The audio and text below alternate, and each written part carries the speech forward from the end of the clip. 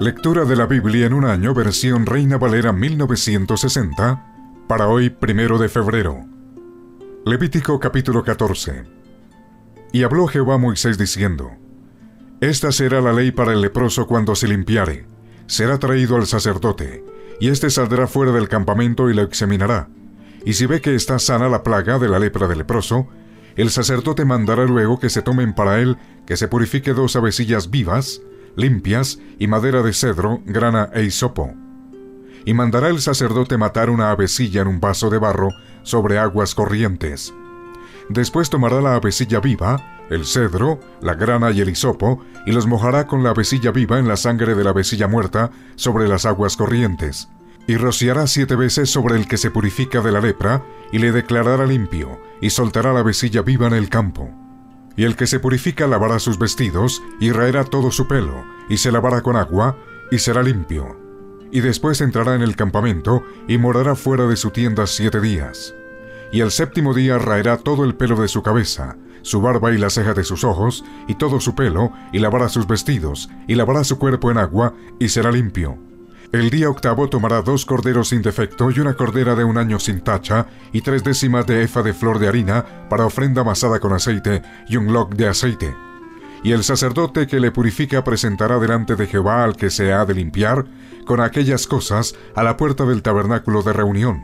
Y tomará el sacerdote un cordero y lo ofrecerá por la culpa con el log de aceite y lo mecerá como ofrenda mecida delante de Jehová y degollará el cordero en el lugar donde se degüelle el sacrificio por el pecado y el holocausto, en el lugar del santuario. Porque como la víctima por el pecado, así también la víctima por la culpa es del sacerdote.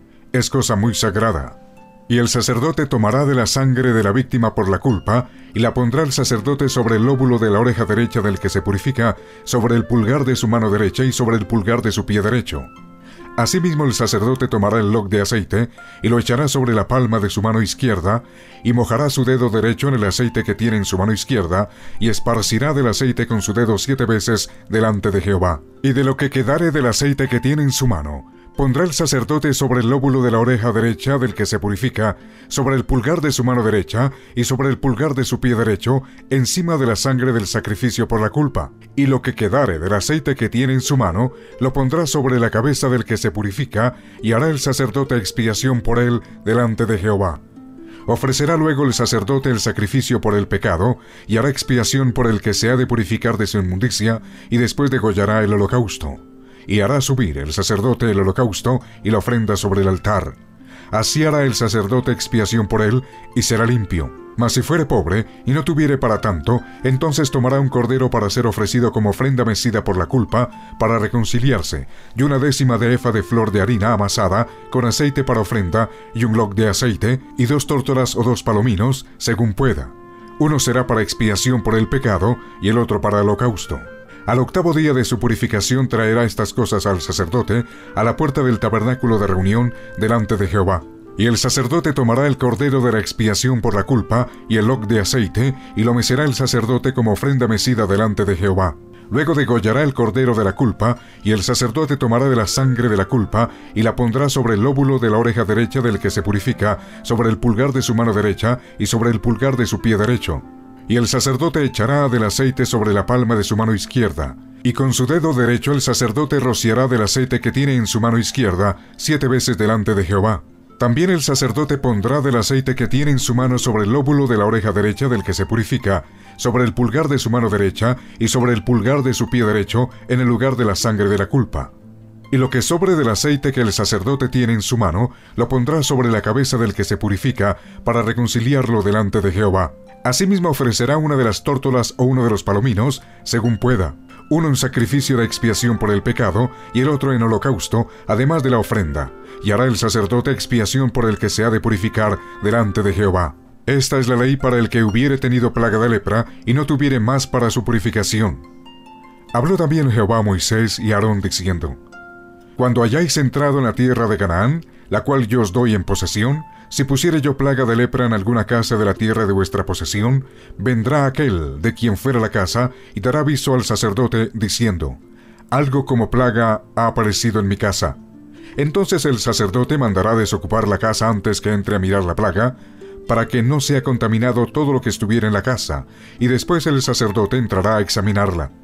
Y examinará la plaga, y si se vieren manchas en las paredes de la casa, manchas verdosas o rojizas, las cuales parecieren más profundas que la superficie de la pared, el sacerdote saldrá de la casa a la puerta de ella y cerrará la casa por siete días. Y al séptimo día volverá el sacerdote y la examinará, y si la plaga se hubiera extendido en las paredes de la casa, entonces mandará el sacerdote y arrancarán las piedras en que estuviera la plaga y las echarán fuera de la ciudad en lugar inmundo. Y hará raspar la casa por dentro alrededor y derramarán fuera de la ciudad en lugar inmundo el barro que rasparen. Y tomarán otras piedras y las pondrán en lugar de las piedras quitadas, y tomarán otro barro y recubrirán la casa. Y si la plaga volviere a brotar en aquella casa, después que hizo arrancar las piedras y raspar la casa, y después que fue recubierta, entonces el sacerdote entrará y la examinará. Y si pareciere haberse extendido la plaga en la casa, es lepra maligna en la casa, inmunda es. Derribará, por tanto, la tal casa, sus piedras, sus maderos y toda la mezcla de la casa, y sacarán todo fuera de la ciudad al lugar inmundo.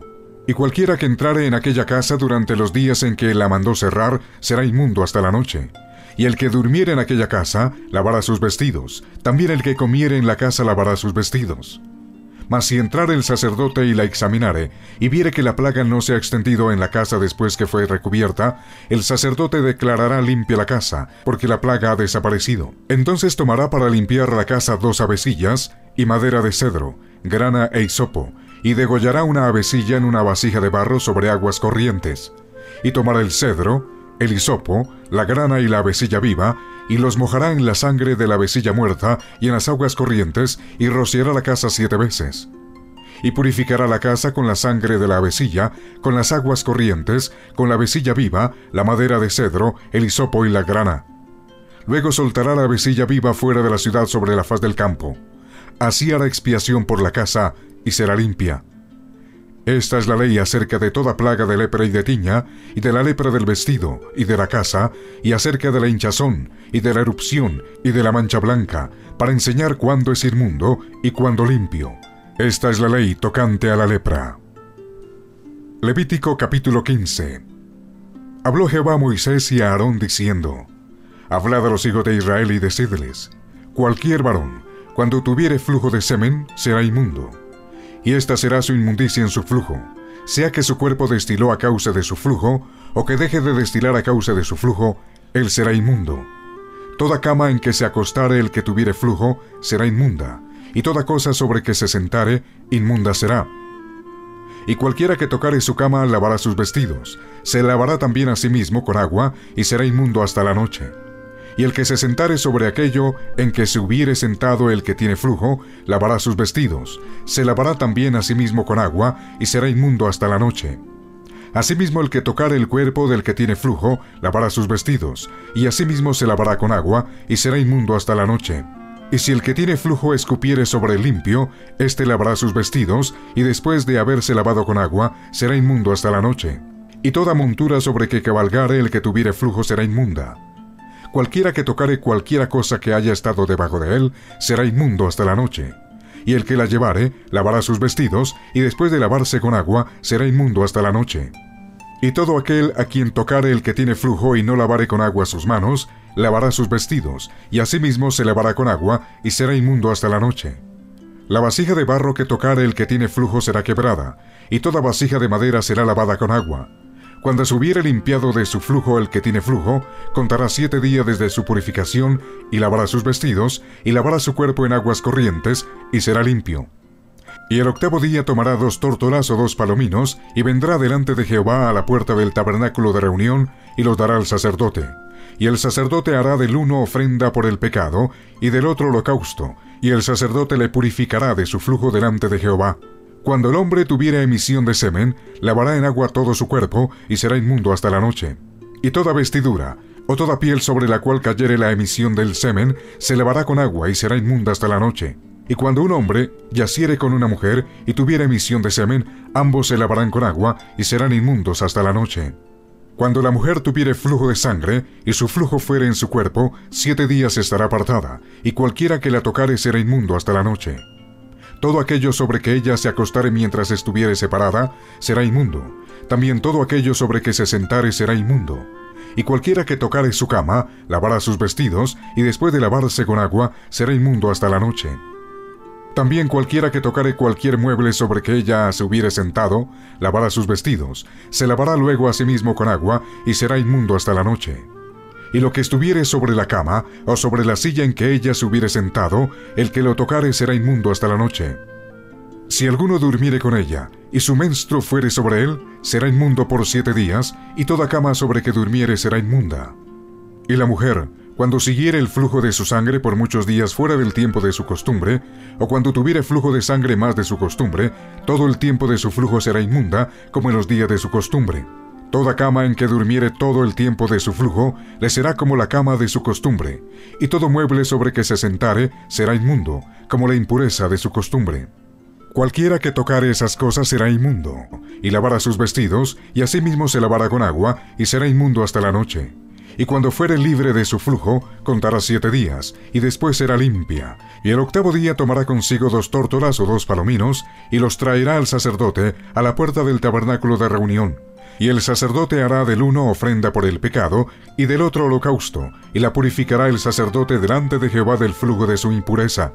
Así apartaréis de sus impurezas a los hijos de Israel, a fin de que no mueran por sus impurezas por haber contaminado mi tabernáculo que está entre ellos. Esta es la ley para el que tiene flujo y para el que tiene emisión de semen, viniendo a ser inmundo a causa de ello y para la que padece su costumbre, y para el que tuviere flujo, sea varón o mujer, y para el hombre que durmiere con mujer inmunda. Levítico capítulo 16 Habló Jehová a Moisés después de la muerte de los dos hijos de Aarón, cuando se acercaron delante de Jehová y murieron. Y Jehová dijo a Moisés, Di a Aarón tu hermano, que no en todo tiempo entre en el santuario detrás del velo, delante del propiciatorio que está sobre el arca, para que no muera, porque yo apareceré en la nube sobre el propiciatorio. Con esto entrará Aarón en el santuario, con un becerro para expiación y un carnero para holocausto se vestirá la túnica santa de lino, y sobre su cuerpo tendrá calzoncillo de lino, y se ceñirá el cinto de lino, y con la mitra de lino se cubrirá. Son las santas vestiduras. Con ellas se ha de vestir después de lavar su cuerpo con agua. Y de la congregación de los hijos de Israel tomará dos machos cabríos para expiación y un carnero para holocausto. Y hará traer a Aarón el becerro de la expiación que es suyo, y hará la reconciliación por sí y por su casa Después tomará los dos machos cabríos y los presentará delante de Jehová a la puerta del tabernáculo de reunión. Y echará suertes a Aarón sobre los dos machos cabríos, una suerte por Jehová y otra suerte por Azazel. Y hará traer a Aarón el macho cabrío sobre el cual cayere la suerte por Jehová, y lo ofrecerá en expiación.